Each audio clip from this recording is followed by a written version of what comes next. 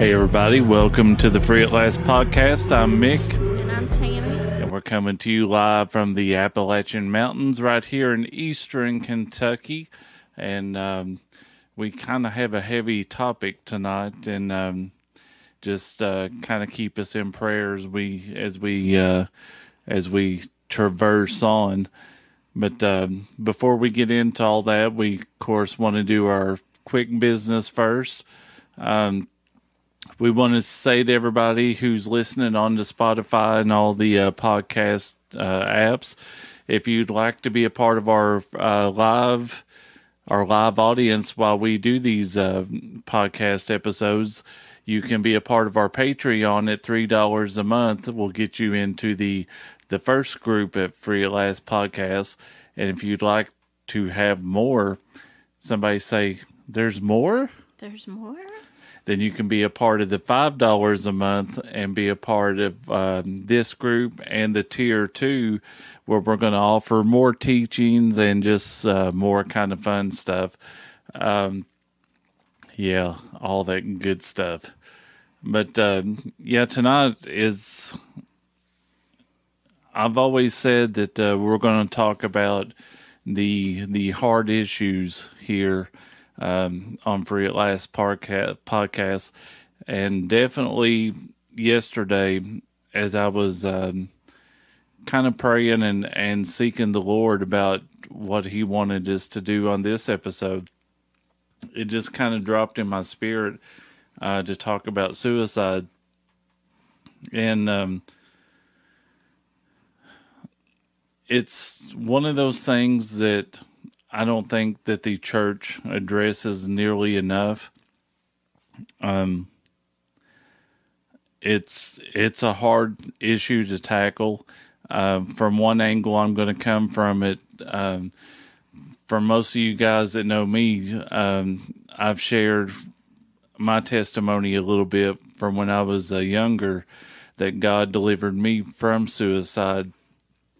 Uh, when I was a teenager, um, I was bound up by the devil and and um, didn't think that I had a purpose in life. And um, as a teenager, I attempted to uh, take my life uh, two or three times, but I'm not really going to uh, go into detail of all that because we this will probably be more than a one episode thing.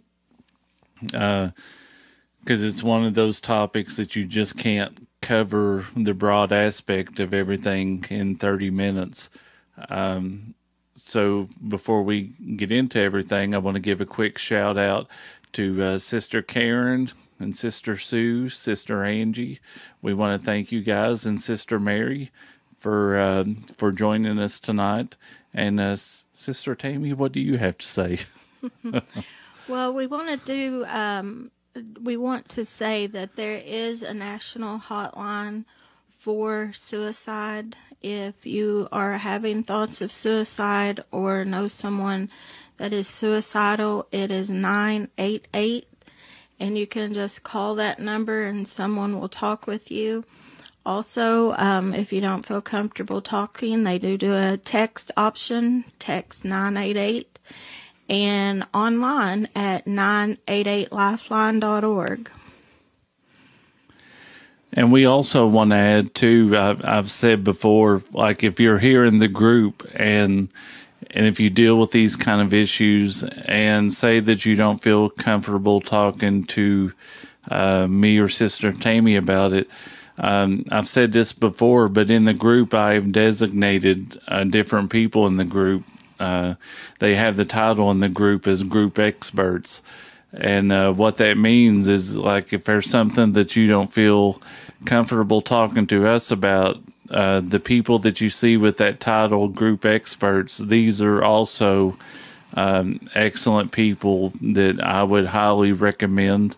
Uh, most of them are people that we have known in ministry for a long time, and and we would we wouldn't have any issue at all going to counsel for them, um, going to counsel from them any issues that we've ever had. So we highly recommend them.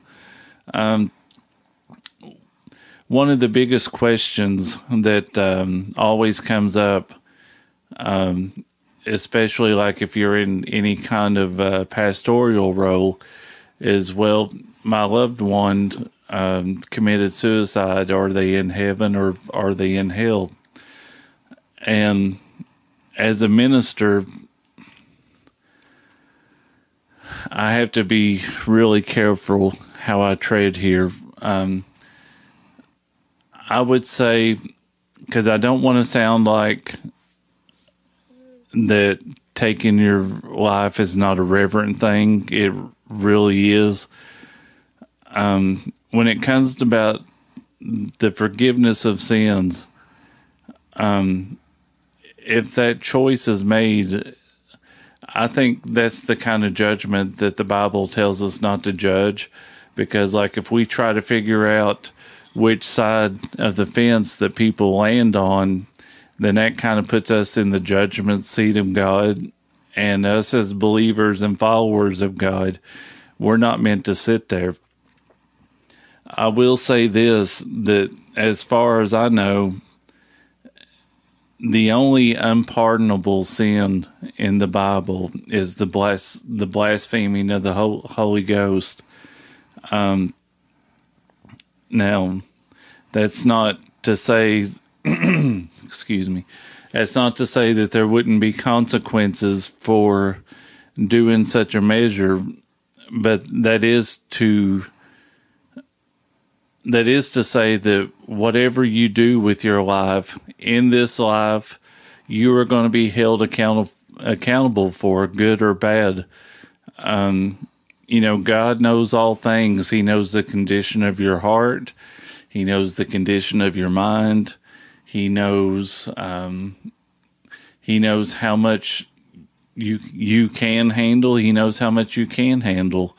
Um, so my my opinion on on the matter when it comes to that only God knows. And you know we can't if we try to sit back and wonder which way one way or the other that the judgment of the other people that have committed suicide the way it has went uh, then we allow the enemy a place in our mind to torment us. And that's not the will of God. Um, you know wherever the chips may land um, in every situation, we just have to trust God because God is the ultimate judge and the um, the ultimate decider in every case like that. And two, you know, when we're talking about suicide, I do believe that it is a spirit of oppression that comes upon someone to have those thoughts and to dwell on those thoughts. And, you know, we've talked about the battle being in our minds because a lot of people don't understand. You know, they would say, well, you don't understand what I go through. You don't understand what's going on in my mind. And, you know, when you're talking about suicide and suicide prevention, it's also important to identify risk that these um, individuals may have, and they may have mental illness, and they may have um, something that requires medical diagnoses, and so you have to be, um, you know, very. Um, you have to be very empathetic to someone who is having these thoughts or talking about having um, uh, these thoughts go on in their mind and they're wanting to act upon it. And, you know, you've got to really um, be compassionate toward them. You don't want to trigger them. You don't want to um, give them that hope of suicide um, because there may be something mental that's going on there that would need medical assistance and that's another thing too. It's like we, I know we come from a faith movement, and we we believe God can heal and and God can raise from the dead, but Tammy and I also believe, and you know, just as a point of vulnerability, we also believe, even though that we're uh, believers in that kind of faith movement, we're also on medicine too. you know, it, it's it's and not to make like a light of the situation, but we believe God is a healer, and we also believe God heals in many ways. Um, I think it would be foolish of the body of Christ not to take advantage of the advancements that God has uh, advanced in medicine today. Because um, I don't want to come across as some of the ministers that I've I've seen and heard that that condemns people for trying to get the mental help they need. Because um, when when you do that, you just put God in a box, and um, and I also want to say because uh, Sister Sue, uh, she commented. Um,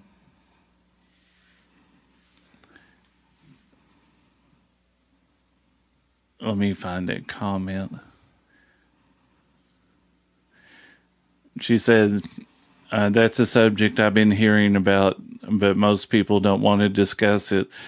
I was talking uh, with a friend about this yesterday. Thank you for discussing this. Um, and and first off, too, I want to say, like, if anybody in the group uh, that has experienced as a loved one that's committed suicide. The only thing I can say is I, am terribly, we are terribly sorry. It's like we don't know um, the words to say. Um, sometimes the best thing we can do is just pray. Um, but I, I do know that um, you know, I, I do know the weight of being in that situation because that's one one of the things that um, that God delivered me out of as a teenager. Um, and you know, I I just I just don't know what to say other than you know, God be with you. That you yourself, if you've had that happen, you have a friendship base here. You have a safe place that you are able to talk through those things that you're feeling.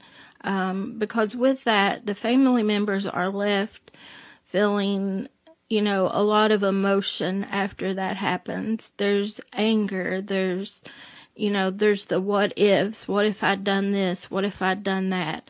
And that's normal because, you know, we're all human and we have that human emotional seed within us that, you know, can feel guilt or can feel um, like you could have done something differently.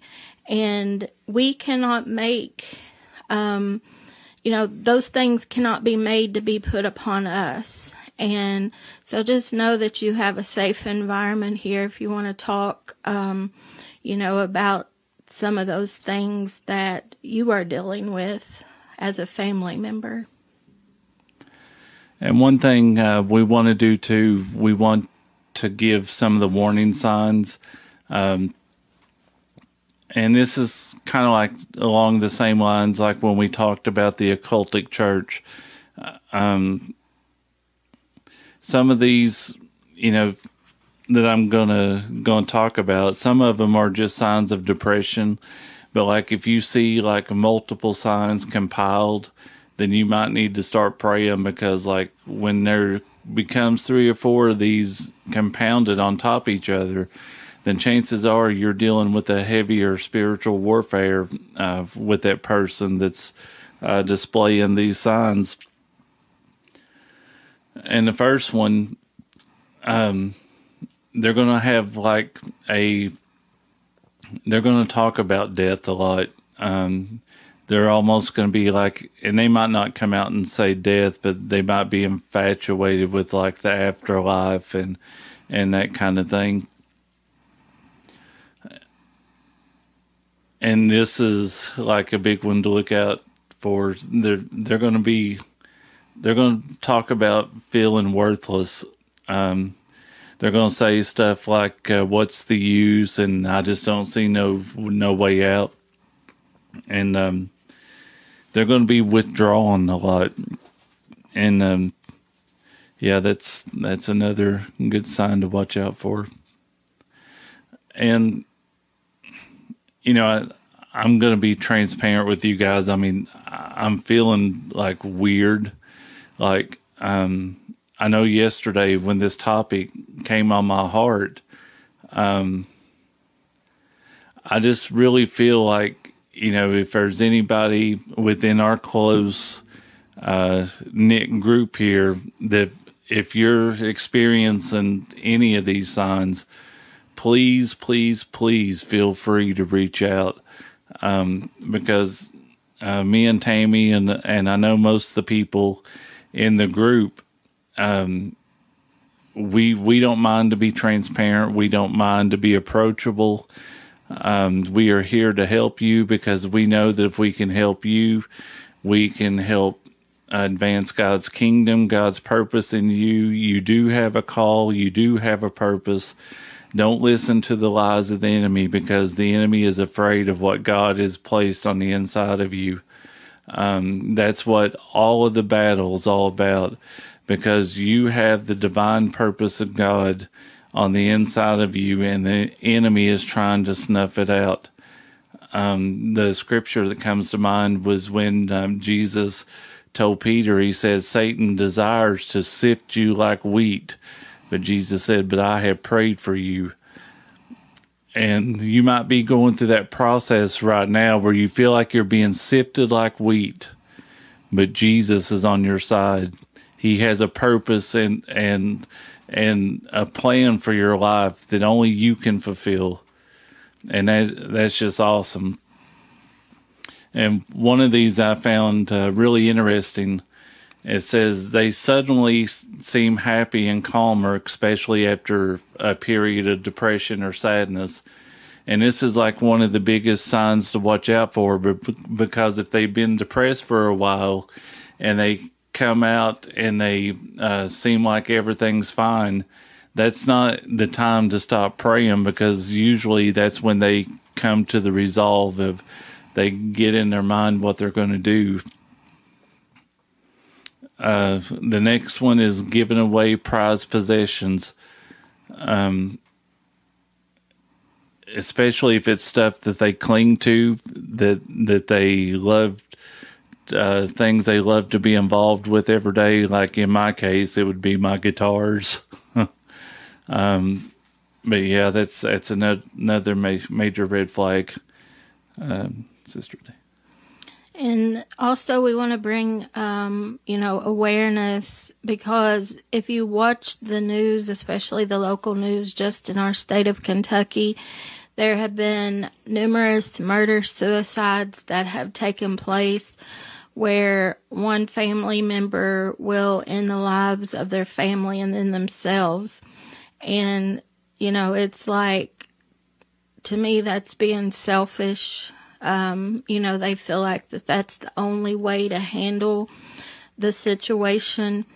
And, you know, we've really got to pray, like Mickey said, um, keeping, not being nosy, but keeping an eye on your family and friends, checking in with them.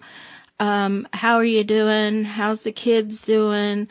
And, you know, if you can keep people talking, um, you know, eventually they do open up and they will share with you maybe some struggles that they're going through. But that is definitely an important thing to do is, um, especially on your job sites, um, you know, make it a point to get to know your coworkers, um, you know, where that you feel comfortable talking with them, um, you know, one on one with your neighbors, with your friends um, because a lot of people, like I've said it before, a lot of people they fight battles that no one even knows about, and so we just want to be mindful of that as well. One thing I'll, share too, like uh, I shared with our youth group, uh, when I was going through that as a teenager, um, and I encouraged them because, um, you know, as kids in school, you can you can tell who the troubled kids are. Um, and I told them that there were so many days, the days I did go to school, because most of the time I just I skipped out. But the times I did go to school, there there was always I had encounters with some uh, true believing kids, and um, I'm convinced that a couple of those occasions um, prolonged. You know, it it fought back the demons that were fighting me at the time because just for that glimpse of uh, glimpse of time, like they gave me a reason to have hope. I didn't know Jesus at the time, but they they gave me that glimpse of hope that maybe maybe there there still are decent people in the world. Um, but yeah, if it um, and and I say that just just so we we as carriers of the light uh, of the light of Jesus that sometimes we need to um, we have to penetrate the darkness. And um, I I do believe that uh, God has called us to be more mindful um, of our surroundings, and not just our surroundings, but but to get closer to people in general. Um, because, and this is one of my faults, but I kind of like to be left alone. and I know that sounds weird, but it's like I'm I'm a very private person. Um, but and it's kind of hard because the only way you can spread Jesus is you have to get to know people. yeah, and that's hard to do. And when you think about Jesus, he he was around the people so much that he had to get away. He had to take uh, sabbaticals. You know, he had to get away from himself for his, I'm sure, for his own mental health. But um, because you know, even though he was fully God, he was still wrapped up in that blanket of humanity as well. Um, but yeah, I I believe that um, God is calling us to be watchful, um, and and don't be don't be deceived either. Just because uh, somebody's a believer, um, they could be struggling with it more than than an outsider could.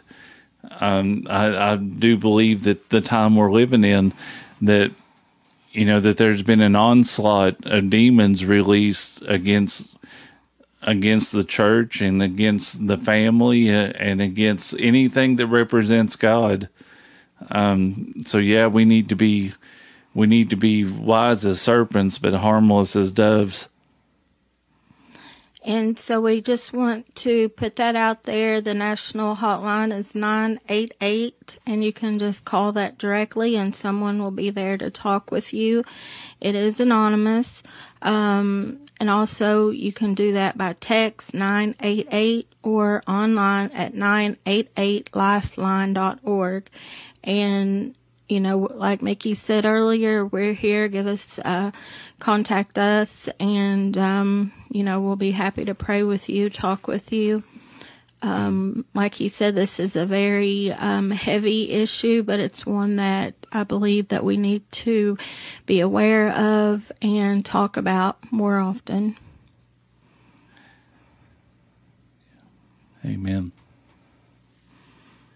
And uh, Sister Sue said uh, she's like that too, as far as being private. She says we have to be aware and see the issue, but we also have to protect ourselves, and that's very true because um, that's that's a hard lesson to learn is healthy boundaries, and uh, we've we've had to learn that the hard way.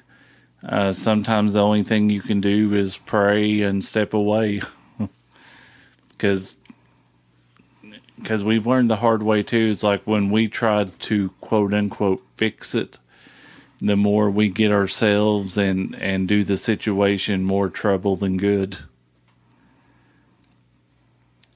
But yeah, uh, we're going to go ahead and wrap it up.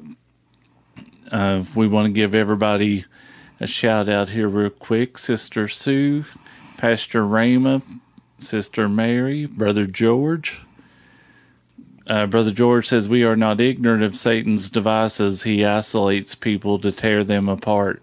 We must stay engaged and watchful. Amen. Amen. Uh, let's see. And Brother Josh, give him a shout out. But we want to thank you guys and uh, Sister Karen as well. We want to thank you guys for all your prayers. Uh, thanks to everybody that watches the the replays. Um, for everything that you guys do in the body. I know that a lot of you serve in different churches um, in the county, out of the county. Uh, me and Tammy, we serve in Carter County, but we know like a lot of uh, a lot of the people in here serve in Rowan County and Bath County, uh, probably some in West Liberty and Fleming County too. And we just want to say thank you for for uh, not to sound like Ray Boltz, but but thank you for what you do for the Lord. Um, Amen. We know that lives are being changed, and just because you don't see the results doesn't mean that God isn't taking taking account of all the good works that you're doing. And we are thankful to be on the same team that you guys are. All right, we have Sister Amanda. She says prayers for those battling suicides and demonic spirits. Amen.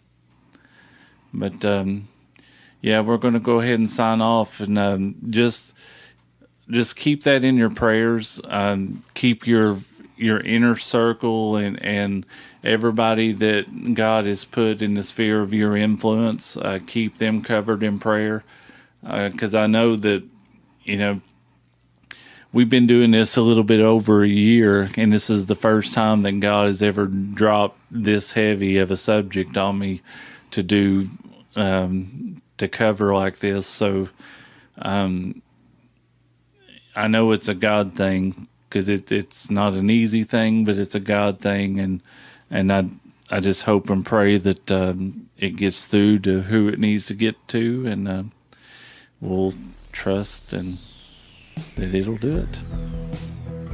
But we're going to go ahead and wrap it up. Until next time, guys, God bless. Have a good week. We love you.